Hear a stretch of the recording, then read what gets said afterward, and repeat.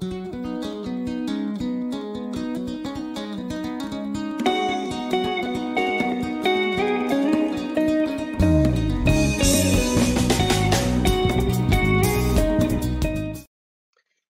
and welcome.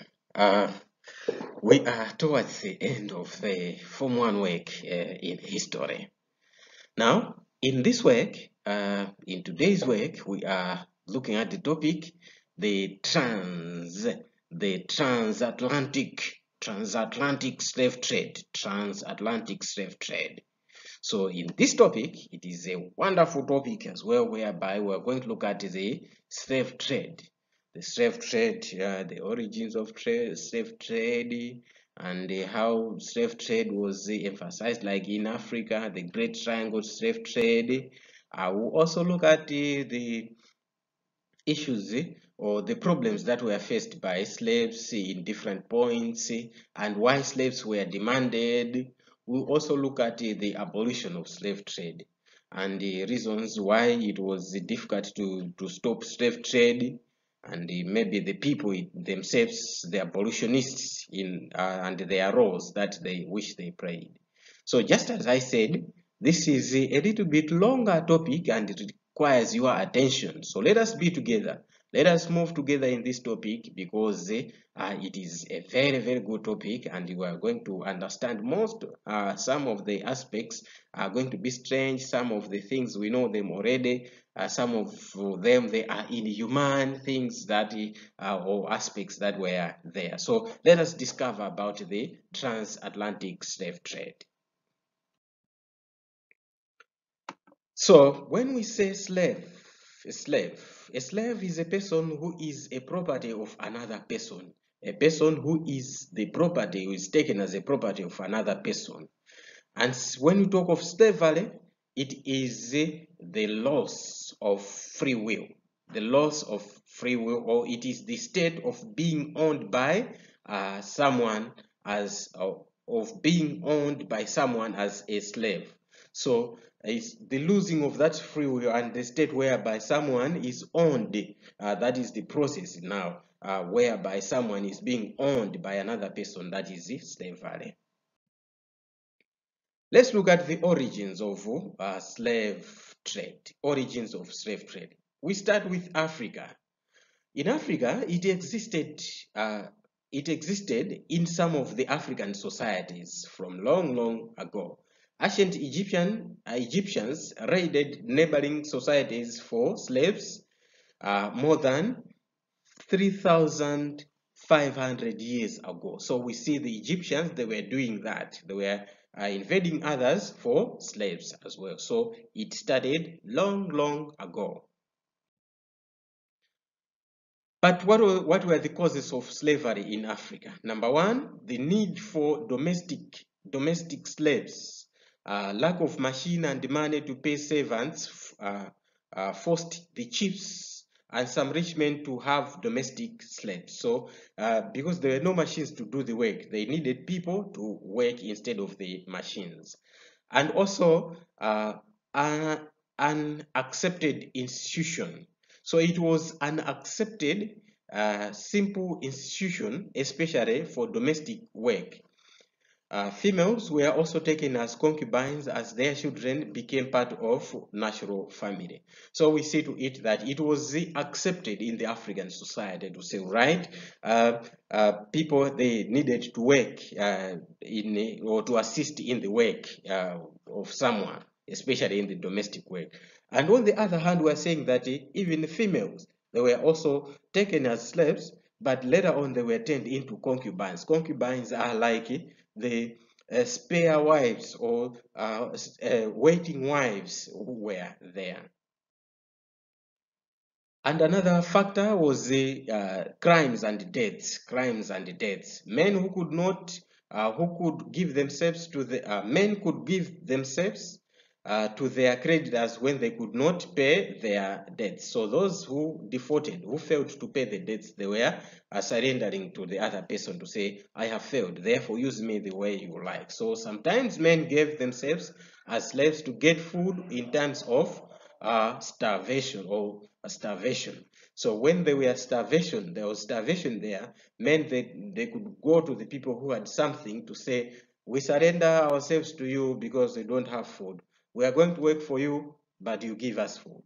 And debt was also a crime punishable by enslavement. So debt, uh, it was a crime to say when someone has failed, has defaulted to pay the debt, then that one it was punishable by being a slave.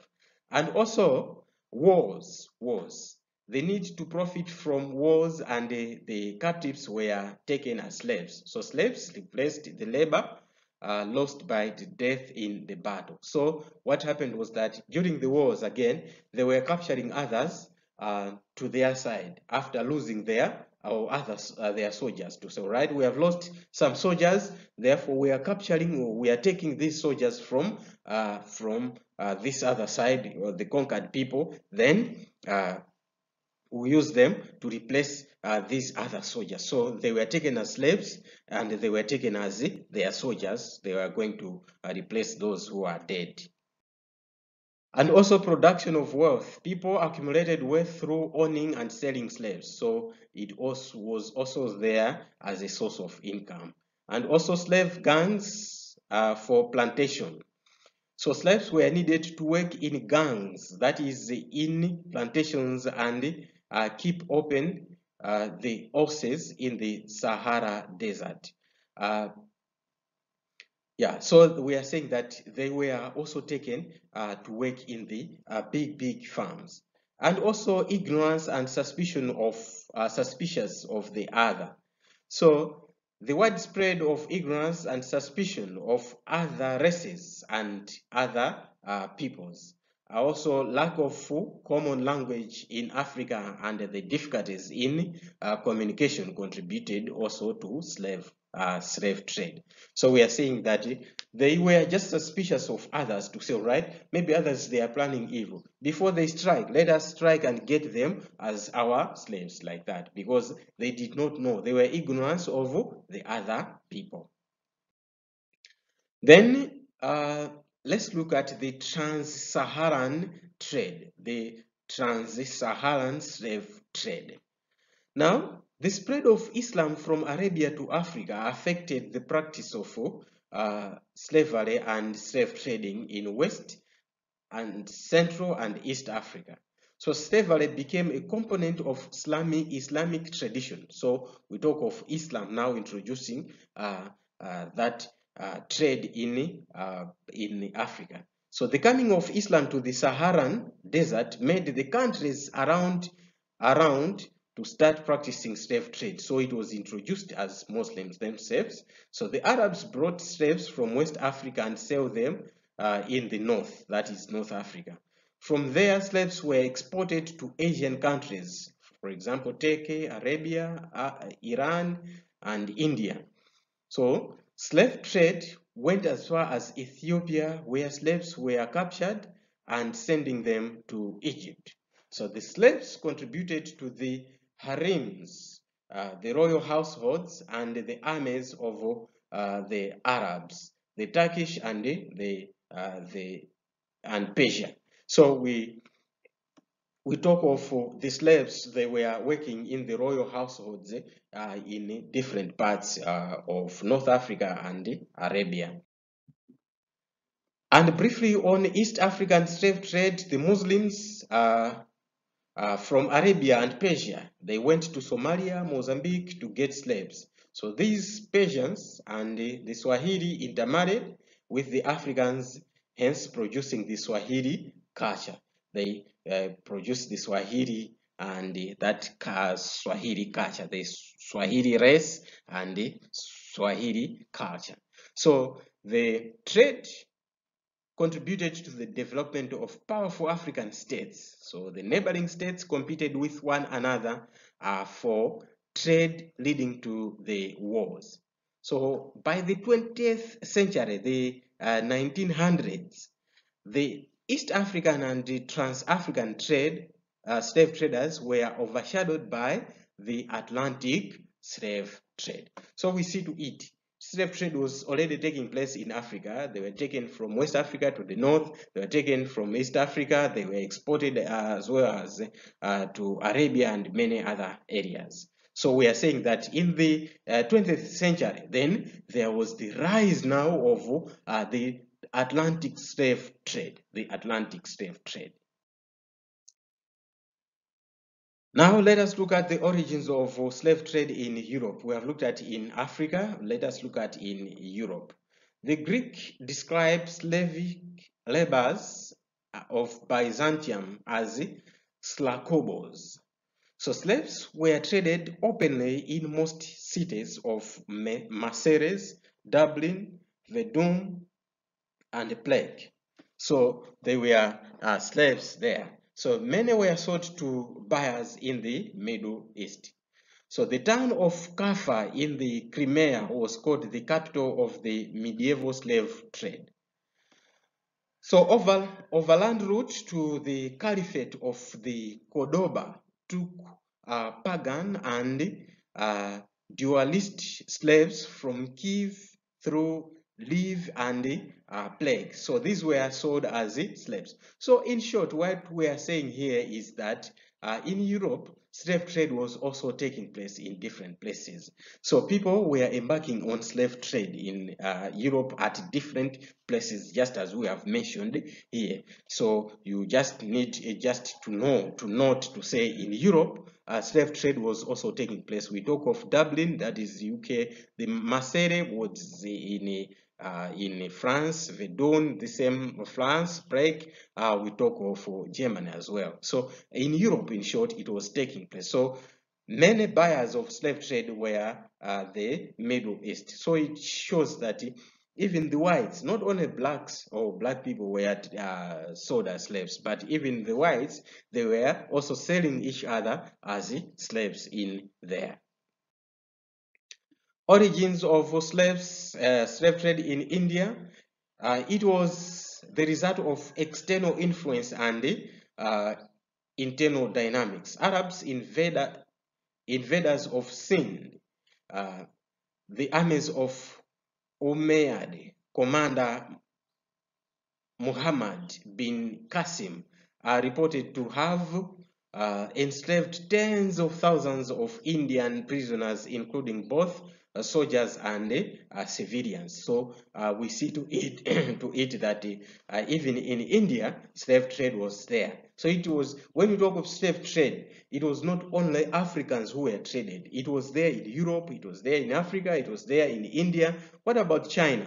Uh, in times of hardships such as famine, um, financial difficulties, parents of poor families, they sold some of their children to wealthy homes to be treated as future brides servants or slaves. So slavery was also done in Japan as well as Korea. So in short, what we can say here is that slavery or slave trade was taking place in almost everywhere. It is an ancient thing that was taking place for different purposes at different times. So we have seen India, China, Korea, Japan, it was there. But then our focus in this topic is the transatlantic slave trade. So that's where we are going to focus much, the transatlantic slave trade. So the words, the word trans, it means across. So it was a slave trade across the Atlantic Ocean. Therefore, the transatlantic simply means across the across or through the Atlantic. So transatlantic is also called triangular uh, trade triangular trade because of the involvement of three continents of Africa, America, as well as Europe. So the trade arose after the trade contacts between the old uh, world, that is Europe, Africa, and Asia, and the new world, North and South America. So the Atlantic slave trade was divided into two uh, uh, periods known as the first and second Atlantic systems the eras or periods, uh, the second or uh, the first and the second Atlantic systems. Let's look at the first system of the Atlantic slave trade.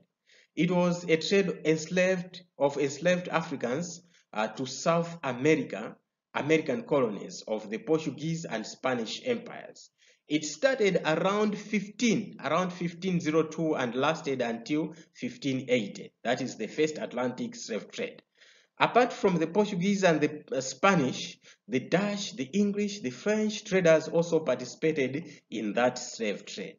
So Portuguese, the Portuguese came under Spanish, or Portugal came under Spanish, that prohibited it from directly uh, engaging in the slave trade. So at one point in time, Spain defeated Portugal. Therefore, uh, Spain did not allow Portugal to embark directly on slave trade. So it became a target for the enemies of Spain, losing large share uh, to the Dutch, British, and uh, French. So uh, with it, we see to it that uh, when Portugal uh, was displaced, therefore other other people who participated in slave trade also they embarked on grabbing or possessing that area that was taken by uh, Portugal in slave trade. We have looked at the first Atlantic uh, uh, slave trade. Let us look at the second Atlantic system. It was a group of enslaved Africans by Portuguese, French, and the Dutch traders. So the main destination of this phase were Caribbean colonies and Brazil. So it took place in the 18th century. So in the 1690s, the English were shipping most of the slaves from West Africa and they became the biggest transporters of slave, slaves across the Atlantic. So we see people from England, they were coming to West Africa to get most of the slaves and they export them to the Caribbean there, Brazil, and many other territories. So let us look at the reasons. What were the reasons for the growth of transatlantic slave trade? Number one, demand for labor. Demand for labor. There was a great need of labor in the mines of gold, silver, in the, and in plantations of coffee, cotton, and sugarcane. So Africans were favored because they were, they were adapted to harsh conditions. Uh, for example, yellow fever, malaria, and others. So we see to it that there was high demand for labor to work in the mines and the plantations. So with that, then they favored Africans because Africans, they could resist, they could withstand the harsh conditions. And another one is the industrialization in Europe. Europeans had begun to take part in obtaining slaves as uh, gang laborers for the new world. So due to industrialization, they wanted them to work in the industries as uh, uh, a group of people working so that they uh, they quicken the work. And also profits uh, because of profits. Slave trade was a profitable business in 1827 uh, hence countries engaged in it. So uh, in around uh, up to around 1827 it was a profitable business a very big business. It was really profitable and high death rate among the American Indians. So more American Indians died of disease introduced into their lands. Africans uh, into their lands by Africans and the Europeans. So more of the uh, Americans, Indians, they died of the disease, new diseases that were brought by the Africans and the, the Europeans. Therefore, they needed more people to uh, replace them or to work there and also upsurge of tobacco and rice plantations in um, North America. So the opening up of tobacco, vast tobacco plantations in the southern states of the USA and the cultivation of rice. So these plantations, they needed more labor annually. So they needed more people to work in those plantations that were opened in North America or in the USA. Also, demand for manufactured goods in African society. So African chiefs wanted manufactured goods, hence they exchanged these goods with their own people who were turned into slaves. So these goods include clothes, iron goods, and other drinks. So chiefs also needed guns and gunpowder to maintain and extend their uh, territories. Another factor was the need for, of sugar and cotton production. So the crushing uh, of sugarcane and cotton ginning required many laborers. So cotton ginnery allowed a far more rapid and efficient separ separation of cotton uh, from the seed. So multiplication of plantation plantations needed a lot of workers. So there were a lot of sugar and cotton uh, plantations. Many big, when we talk of a plantation, it is a big, big area, a big farm, big farm. So by then there were no machines. So they needed people to work in those machines. Even during harvest, they needed people.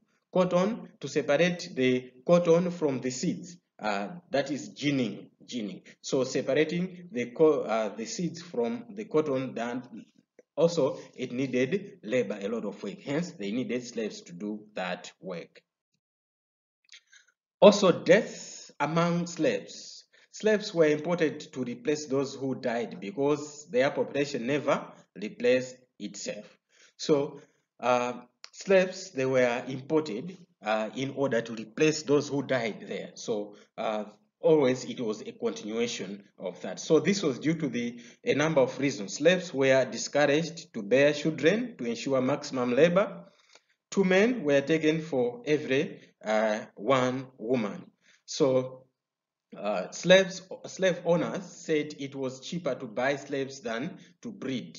So uh, the slave owners, they wanted to maximize those people to be working 20, uh, to be working almost 19 hours 18 or 17 hours uh, a day uh, very few time of rest uh, seven days a week 365 days a year. They wanted those people to be working each and every day. Therefore for them to have women uh, or to get married it was prohibited. So their uh, replacement it was to be also by acquiring other slaves. So slaves were not allowed to get married.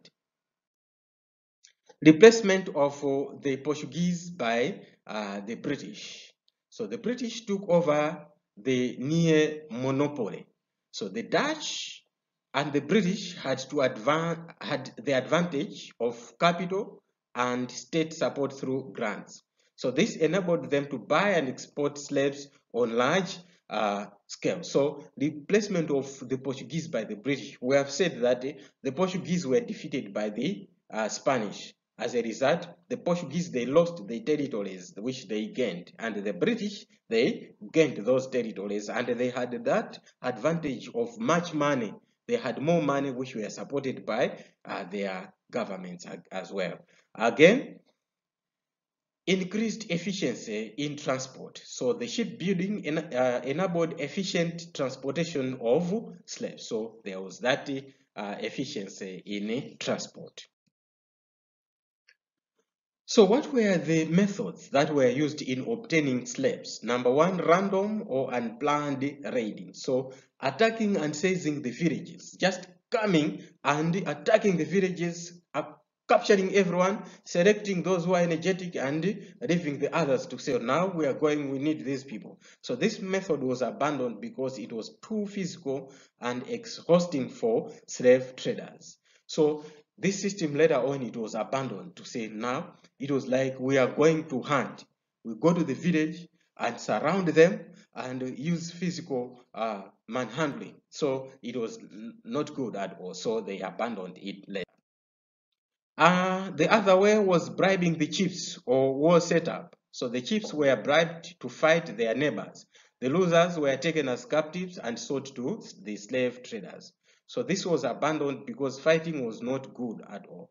So uh, the other way, apart from raiding, the other way was bribing the chiefs to say, you attack that village. If you defeat them, you capture them, then you sell them to us.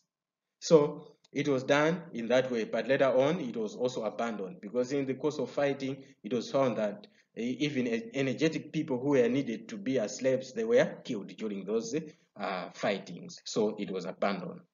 And also dictating by powerful chiefs. So some chiefs uh, dictated uh, the conduct of slave trade. So uh, some chiefs, they were uh, dictating, they were acting as dictators uh, they were setting up the rules uh, that could uh, uh force people to be taken as uh, slaves. So we have looked at the ways, the ways how uh, slave trades were conducted.